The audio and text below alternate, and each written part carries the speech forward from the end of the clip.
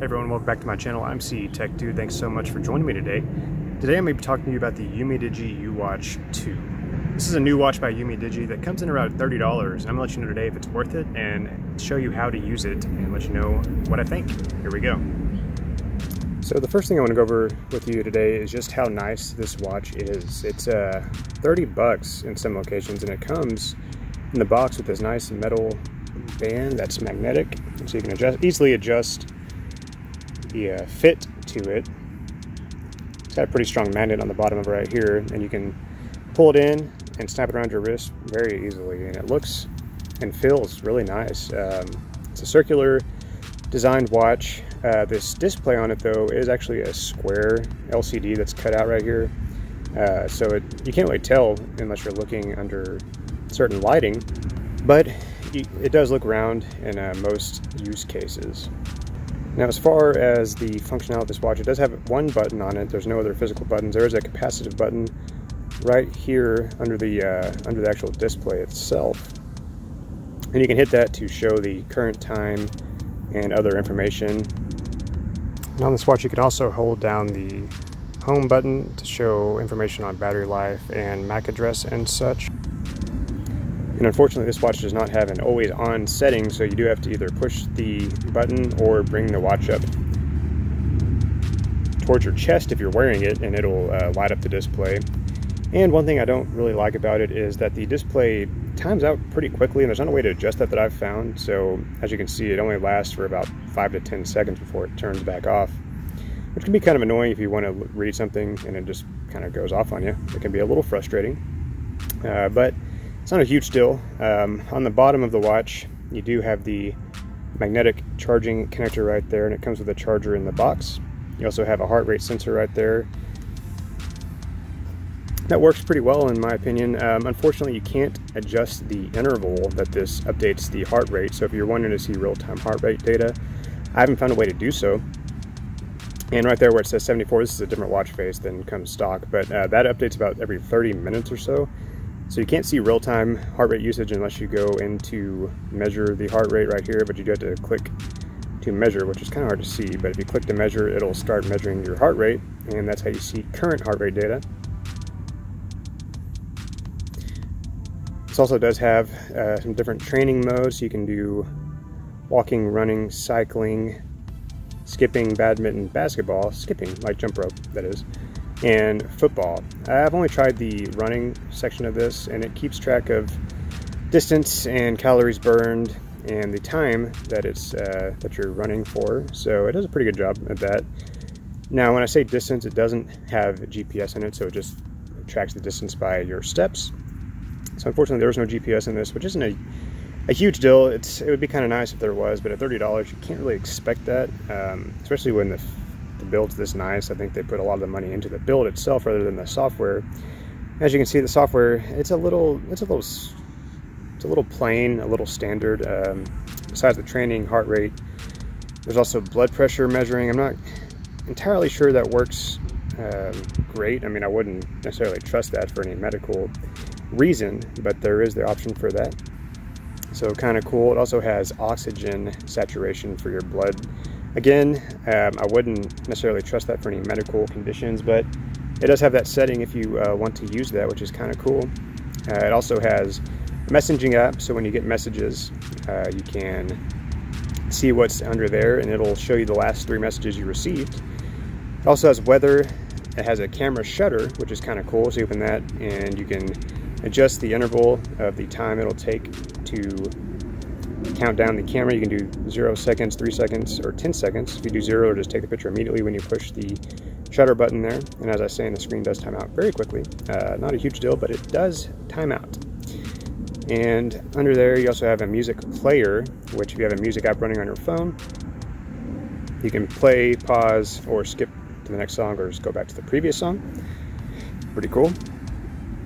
And you also have a stopwatch functionality on here and under the settings, so you can mute alerts on this, and you can adjust the brightness uh, because this this watch does not have auto brightness, which is one of my other complaints about it, is it doesn't get super bright, especially on a sunny day if you're trying to look at it under the bright sun. It's hard to see So you can adjust that though down and up to your liking. Uh, it gets very dim. It doesn't get super bright, which is unfortunate, unfortunate, but it's not a huge deal. Uh, you can also switch the watch face between some different ones on there. And on the UMIDIGI website, it does say you can upload your own picture to this. I couldn't figure out how to do that, um, but it says it can do that. So maybe there's a way to do it. I just haven't figured it out. And then you can reset the watch and power it off there. Uh, speaking of powering off, this watch doesn't actually seem to power off completely that I've noticed. as a matter of fact, when you get the watch, mine was actually powered on when it came to me. And like I said, I think that may just be because there's no buttons on here to actually physically power it on. So to when if it dies completely, you just hit the charge up to it and it'll power back on and then you'll be good to go. And as far as battery life, I've got this watch running constant heart rate monitoring, which like I said, updates every 30 minutes or so and it loses about um, 3 to 5% every day. So it should last you about uh, you know, 25 days if you're not doing a lot of usage on it, if you're not measuring a lot of running or measuring your heart rate from the watch itself very often. Um, I'd say about 20 days or so would be average battery life on this. Now this also does track steps and sleep usage um, as well, which is kind of neat. And you would kind of expect that from a smartwatch, but it's nice that it has that option. Um, in the box, you also do get a another band. It's more of a plastic band. I prefer this this metallic uh, magnetic band because I think it looks better and it feels pretty good in the hand, honestly, in my opinion. And like I said, this watch does look really premium. Um, it's just the software that's a little basic and uh, some things can be a little annoying on it. Like for me, I live in the US, and if you get a text that has like a money sign on it, which isn't a huge deal, but it does show like a British pound sign, which is kind of weird, even though you set the uh, you can set the settings for what country you're in in the app. And speaking of the app, um, I had to do a little research on how on which app to use to actually get this phone talking to get this watch talking to my phone. And you have to use an app called DA Fit or Da Fit. You can download it from the Play Store.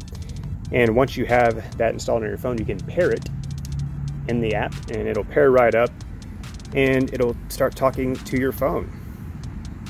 Now in the app, there are all different options. That's where you set the uh, heart rate interval.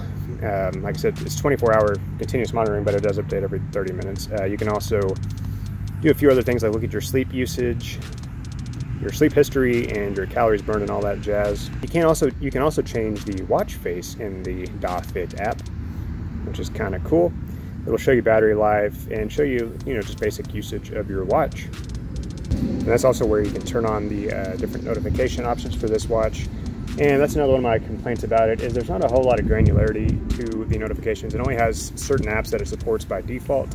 It also has an, an, others option, which when you enable that, it'll send every notification on your phone to the watch, which I didn't like that because I only really want to see calls and text messages and maybe some, you know, Discord or Facebook notifications, but there's no way to just filter out those uh, apps, unfortunately. Um, because otherwise if you enable other like I said it will enable it will send all the notifications to your watch but I don't necessarily want all of them I want it to be more granular than that but not a huge deal just want to let you know now a couple of other things I've noticed uh, while using this watch is the vibration motor is a little weak and I don't see any way to adjust that so when you get a notification it's not going to vibrate very strong at least mine doesn't it's still you can still know when you get a message or a call, but it is a little weak. So that's my major complaint about that. And then also one thing I can't get to work. Maybe it's the text messaging app I'm using, which I'm using Samsung Messages for my phone, but um, I can't get it to, to show or at least alert when I get an MMS message. Uh, kind of annoying if you're doing group chatting because it will not alert you if you get a new message. If your phone's on vibrate or on silent, you won't know until you look at your phone. So that's uh, that's kind of annoying, but like I said, not a huge deal. So overall, after using this watch um, for the last week or so, I'd give it about a a B as far as um, a grade from you know A plus to D. Uh, I'd give it a B, and that's the only complaints I really have. Like I said, are the heart rate stuff, no GPS, which isn't necessarily a complaint, but it's um, it'd be nice to have that there's a few more things. It's like the software, like I said, pretty basic, and it has a few typos and such. Like this says training instead of training. Like I said, just being picky, but want to let you know. Um, as far as any other complaints, I really, I really went over them with you earlier, so I don't think I have many more to go over. But as far as quality of this watch, it's really nice. Um, build quality feels really premium. It is IP67 water resistant. I haven't necessarily tested that in um, the shower or swimming, but I have sweat in this watch quite a bit and it's holding up just fine. So overall, this is the UMIDIGI U-Watch 2 and I would give it a recommendation if you're looking for a cheap watch uh, that looks premium and feels good. Um, yeah, give this one a look and hopefully they'll upgrade some firmware to fix some of the complaints I have, like a screen timeout and some other little software things. But uh, overall, hopefully you enjoyed this video. And if you did, make sure to leave it a thumbs up for me so I can know that you liked it. And this is the UMIDIGI U-Watch 2. You just got CE Tech. Have a great day. See you next time. Thanks.